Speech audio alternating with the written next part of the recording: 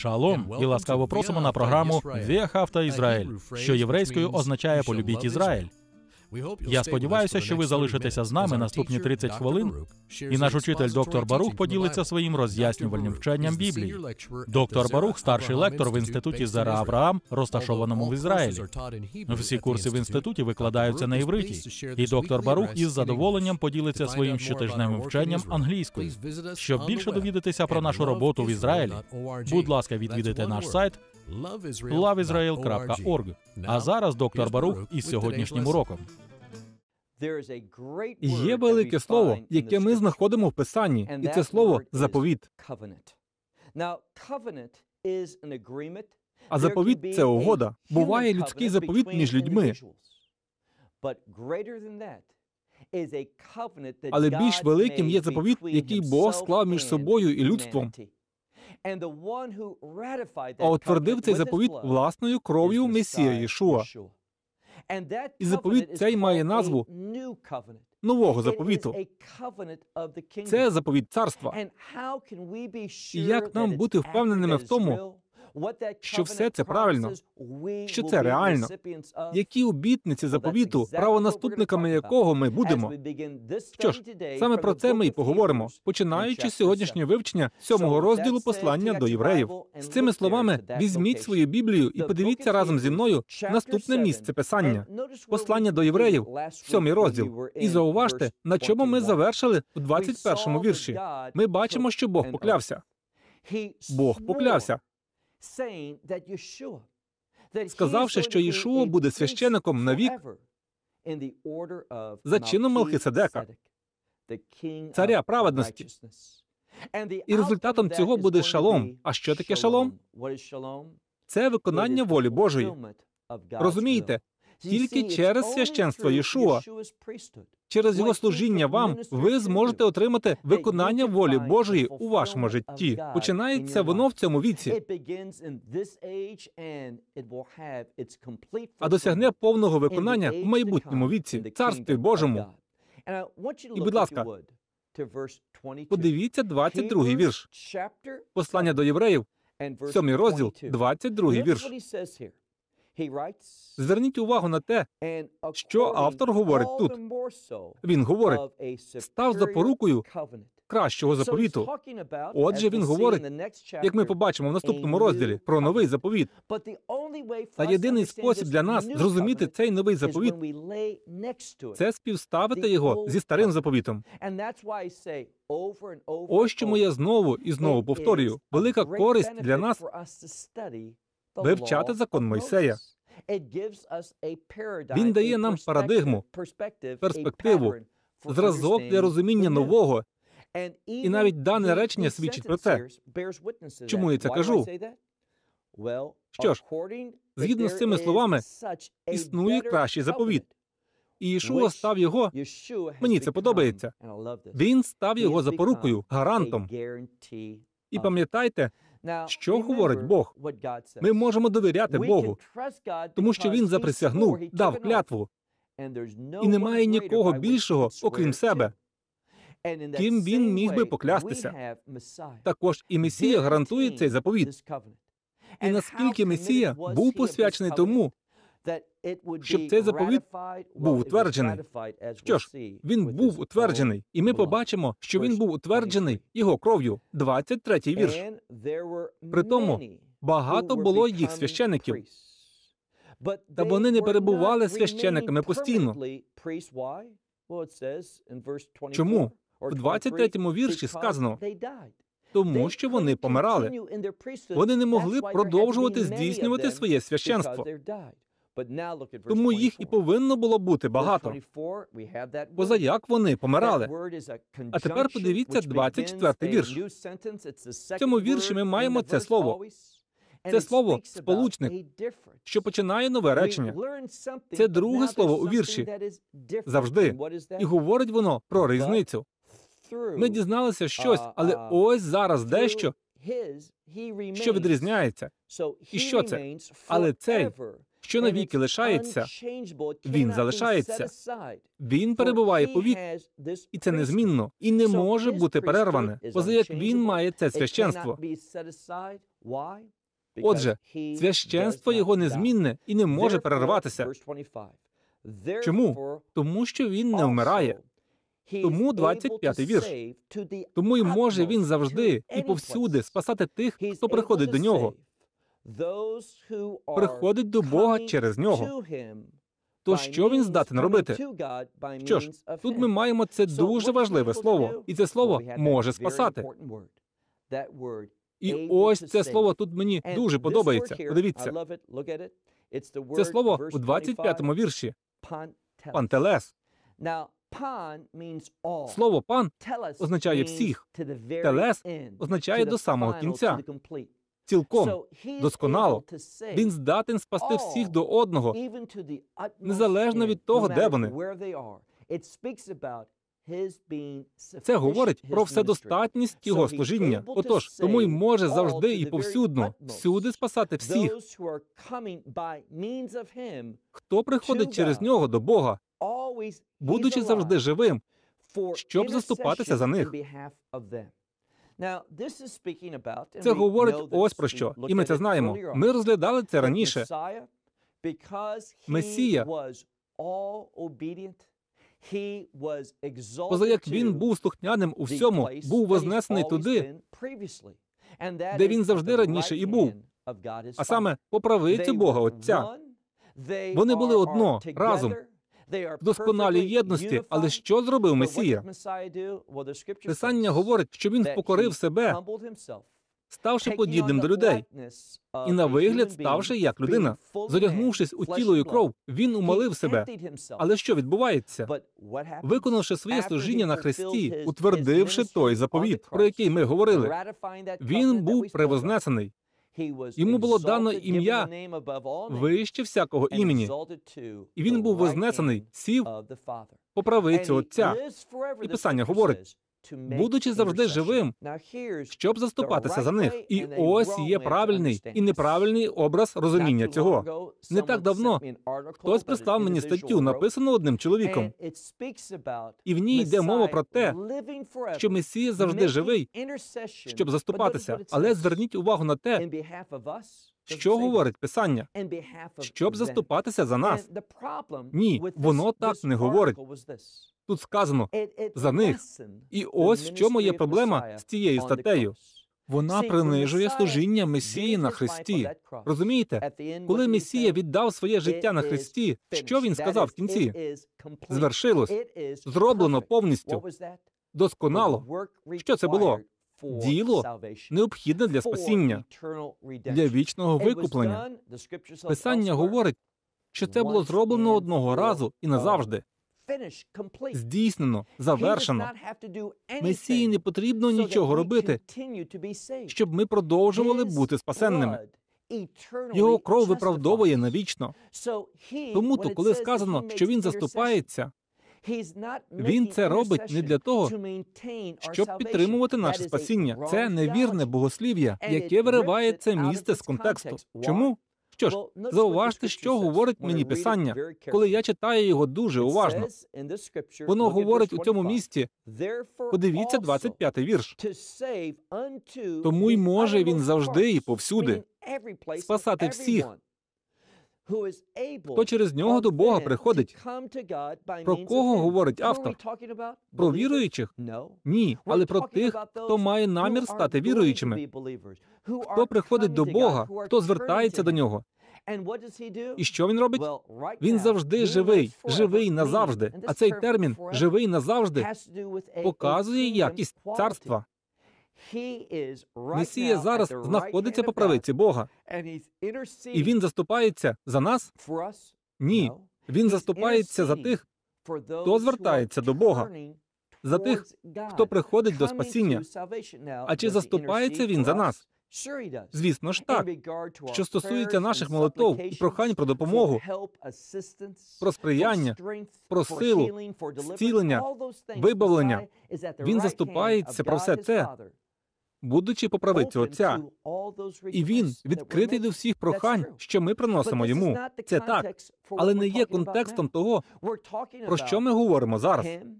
Ми говоримо про його заступництво за кого? Контекст за тих, хто приходить через нього до Бога. Він заступається. Без цього заступництва вони б не змогли цього зробити. Все залежить від нього. Тому він отримує за це всю славу, всю хвалу. Але якщо ви вірите, що йому доводиться постійно заступатися за вас, і що без його заступництва ви втратите спасіння, загинете, то тим самим ви зневажаєте Бога. І я категорично проти такої точки зору. Підемо далі. Але пам'ятайте, що тут сказано, що заступається він за них, а не за нас, за тих, хто в даний момент звертається до нього. 26-й вірш. Бо такого ми й маємо первосвященика відповідного. Я розумію, що дехто я читаю з грецького нового заповіту. І яка версія? Текстус, рецептус. І тут є слово, якого немає в пізніших і в деяких ранніх версіях. І що це за слово? Це слово, яке говорить, що ми маємо відповідного священика. І я так і перекладу. Бо такого ми й маємо первосвященика відповідного. І який він? Святий, непричасний до зла, непорочний, не має жодної вади. Ось що буквально це означає. Відділений від грішників. Це життєво важливий момент. Дивлячись на Месію, що ми дізнаємося про нього? Що він досконалий. Ми говорили про це раніше. Він ніколи не грішив. І по цій причині, тому що він святий, він не має жодної вади і зла, він не має жодної плями. і відділений від грішників. І що це означає? Він гідний кандидат на священство за чином Мелхиседековим. Щоб придбати нас своєю власною кров'ю, придбати для нас вічне викуплення, вічне життя, вічне спасіння. Я бажаю зробити акцент на цьому слові вічне. Дивимось далі. Кінець 26-го вірша. Тут написано піднесений вище небес. І це важлива частина. Існує небесна сфера, де перебувають ангели, ті чотири істоти, що промовляють перед престолом Божим. Святий, святий, святий. І є інше в цій сфері.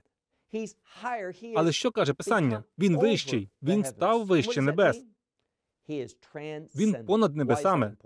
А чому це важливо? Тому що автор послання до євреїв бажає підкреслити цю біблійну істину, що він вище понад небесами. Ну, а хто є понад небесами? Тільки один, а саме Бог, Бог Отець, Бог Дух Святий. І в даному випадку син другої постась трійці. Ми говоримо про те, що Месія понад небесами. А це якість Бога. Ось що прагне донести автор. Він говорить і розповідає нам про божественність Месії. Отже, в цьому місці писання про нього сказано як про піднесеного вище небес. Це звучить так, що хтось може сказати, якщо він піднесений вище небес, значить раніше він вище небес не був. Ні, так вам може здатися, коли ви не звертаєте уваги на грецьку граматику. Дивлячись на це слово, ми бачимо, що воно стоїть в перфекті. Тобто щось сталося в минулому. Як давно в минулому? Ми не знаємо. Що ж, ми знаємо, коли кажучи про Месію, це було істиною вічно в минулому. Але конструкція в грецькій мові перфект така, що означає, що це істина в минулому, істина в теперішньому і істина в майбутньому. Наскільки в майбутньому? Ми не знаємо. Але в цьому випадку ми знаємо, що це істина в майбутньому навіки. Ішуа завжди був вищим небес. Але що проголошується тут? Він це прийняв, він це заслужив, позаяк це його природа, це його тотожність.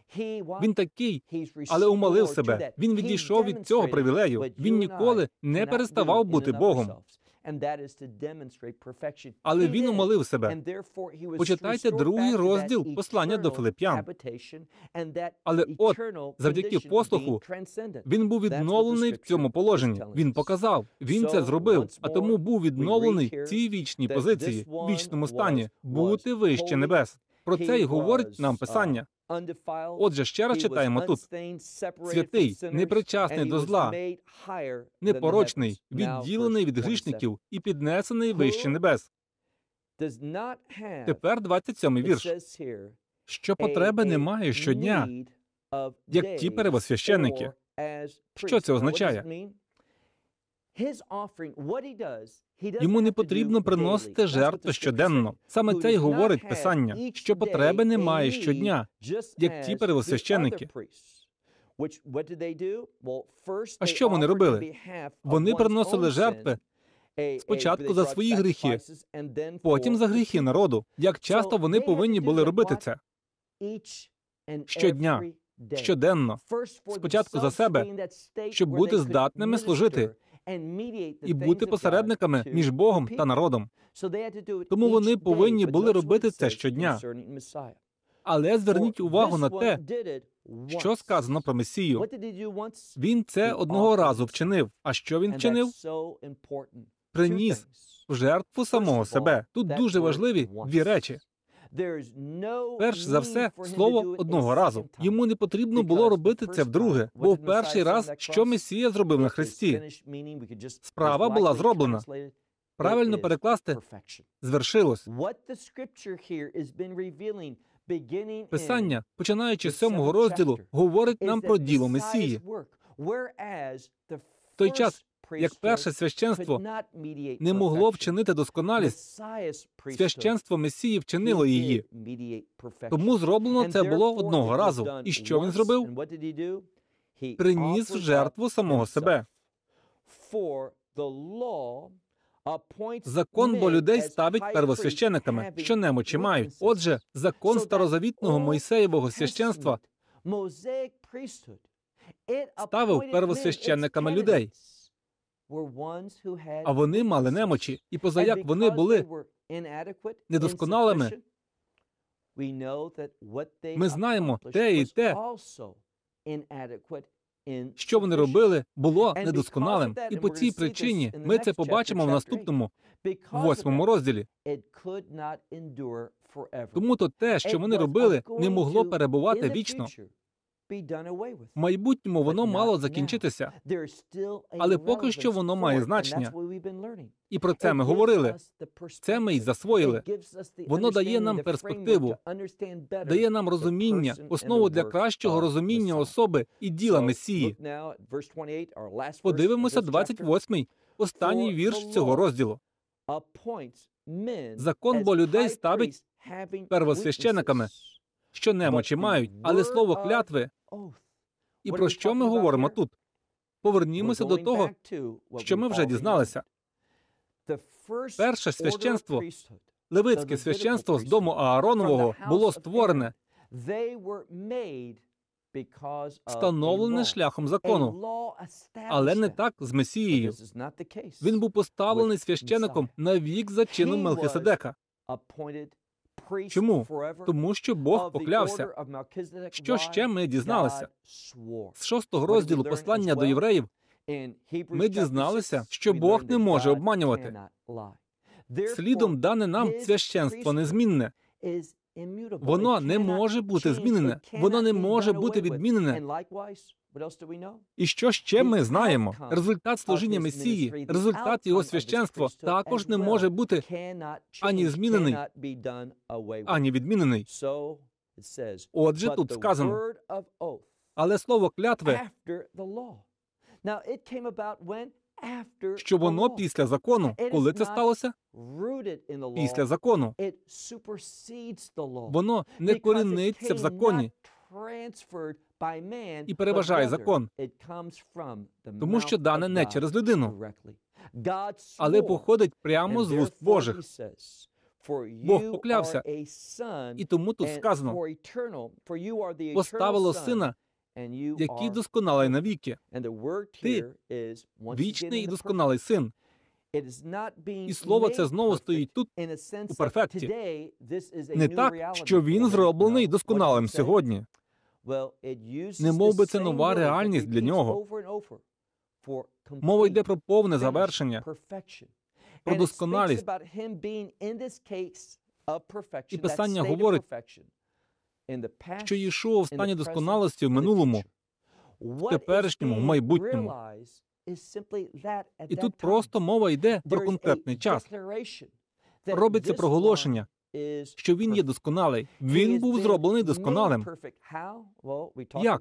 Що ж, Ми сказали про це 5 хвилин назад. Хоча він був досконалим в минулому, він умолив себе, але продемонстрував досконалість. Чому? На слово Боже він відгукнувся послухом. Ця клятва, яку промовив Бог, Він сказав: Ти мій син, ти мій слуга. І він продемонстрував послух досконалості. І ось через цю досконалість він зміг передати досконалість нам. Ось чому ми бачимо, і ми дізнаємося наступного тижня, що цей новий заповіт вищий за попередній. Однак не забувайте один важливий принцип: ми не зможемо осягнути. Ми не зможемо сприйняти. Ми не зможемо зрозуміти цей заповіт так, як бажає Бог, без зразка, даного старозавітнім законом. А коли ви порівнюєте їх, пам'ятаєте те слово мататі семі, ставите їх пліч опліч. Ось тоді другий починає сяяти значно яскравіше. Він стає яснішим, стає джерелом більшого відкриття.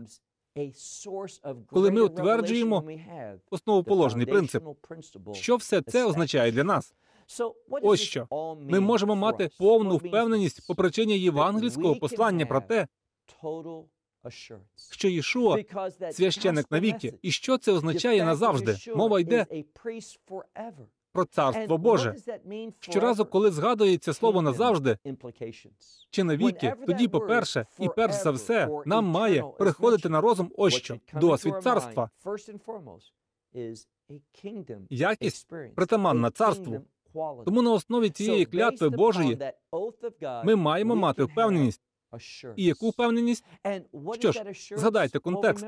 Протягом всього сьомого розділу автор послання говорить, що для розуміння Єшуа слід пам'ятати, що він священник за чином Мелхиседека, а Мелхиседек цар праведності. Тому дозвольте мені задати вам запитання: ви бажаєте праведності у своєму житті? Так багато людей відгукуються на невірне розуміння Євангелії. Вони приходять і кажуть: так, я вірю в Месію, тому що в мене є проблеми, і я бажаю, щоб ці проблеми були вирішені. Мені потрібен помічник. Мені потрібен той, хто дасть мені те, що я, на мою думку, заслуговую в житті. Дасть мені те, що допоможе мені стати тим, ким я бажаю стати, і досягти того, чого я бажаю досягнути. Ні, в такому випадку ви й надалі житимете у гріху. Вам необхідно зрозуміти, що допоки ви не прийдете до віри у Бога через улюбленого Богом Месію, ви нічого не знатимете про волю Божу для свого життя. А всі ці бажання, всі пожадання коріняться в тілесній природі, в гріховній природі. Вам потрібно прийти до Бога з чистим серцем.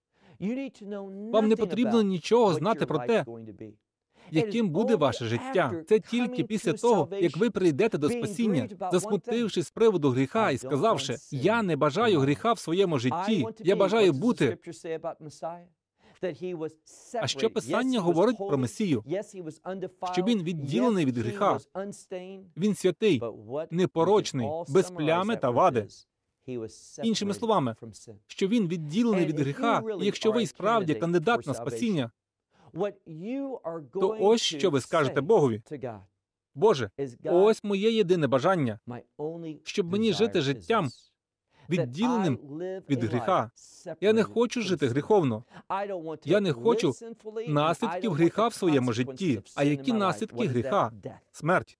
А тому я звертаюся до тебе без усіляких власнолюбних очікувань. Я бажаю одного, щоб ти дав мені милість, щоб мені бути правонаступником благодаті, щоб мені отримати прощення гріхів для того, щоб я зміг спілкуватися з тобою і переживати твою любов. Ось чого я бажаю. Знаючи і будучи впевненим в цьому благословінні, я бажаю шанувати тебе своїм життям, так як хочеш ти. Візьміть усі свої думки, всі свої мрії, всі свої бажання, всі свої прагнення до досягнень і відкладіть їх в сторону. Бог дасть вам щось краще. Бог має кращий план для вашого життя. Але він почне здійснюватися, коли ви прийдете до Бога як порожня посудина. А якщо ви, прийшовши до Бога, скажете, мені потрібне прощення, щоб досягнути ось цього, то будете розчаровані. Тому що спасіння це не засіб, спасіння це ціль. І воно дається для того, щоб нам стати синами і доньками Божими, щоб нам мати право бути в присутності Божій. Ось в чому суть. А що Бог зробить з нашим життям? Це тільки його справа. Вам необхідно бажати виконання волі Божої для вашого життя. Не потрібно торгуватися з Богом, намагаючись реалізувати для свого життя свою власну волю. Ви ніколи не відчуєте мир, радість, задоволення, всі ці відчуття, яких ви бажаєте, допоки просто не здастесь Богові. без усіляких задумів чи очікувань того, що ви бажаєте отримати від нього.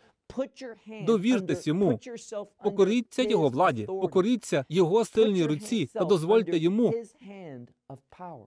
направляти вас, управляти вами, вести вас туди, куди він бажає. І в кінцевому підсумку ви будете лише задоволені. Не чіпляйтесь за свої мрії, тому що Бог має для вашого життя кращий план. Вам потрібно вірити в це і помолитися. Як закрийте очі і помоліться разом зі мною. Боже, я грішник, і мені необхідне твоє прощення. Мені необхідно, щоб ти торкнувся мене своєю милістю, своєю благодаттю. І сьогодні я приймаю твоє діло. Це достатнє діло, зроблене Месією Єшуа на Христі, де він віддав своє життя, щоб я міг мати нове життя, щоб моє життя. Могло бути посудиною, інструментом його служіння. Тому я визнаю свої гріхи і вірю в те, що Єшуа твій єдинородний син, якого ти послав у світ для того, щоб він утвердив новий заповіт, заповіт милості і прощення, щоб мені отримати спасіння, прощення і стати дитиною твоєю. Використовуй мене так, як хочеш ти. В ім'я благословенне Єшуа я молюсь. Амінь. Якщо ви помолились цією молитвою, ви маєте динамічне майбутнє. Час вийшов. До зустрічі наступного тижня. Ми продовжимо вивчення послання до євреїв і почнемо восьмий розділ. Ми сподіваємося, що ви оціните сьогоднішнє послання і розділите його з іншими. Будь ласка, приєднуйтеся до нас щотижня о цій порі та на цьому каналі або до нашої трансляції на loveisrael.org. Щоб більше довідатися про нас, будь ласка, відвідайте наш вебсайт loveisrael.org. Там ви знайдете статті та численні інші лекції вчителя Баруха. Це вчення є і у відеоформаті. Ви можете завантажити його або дивитися онлайн.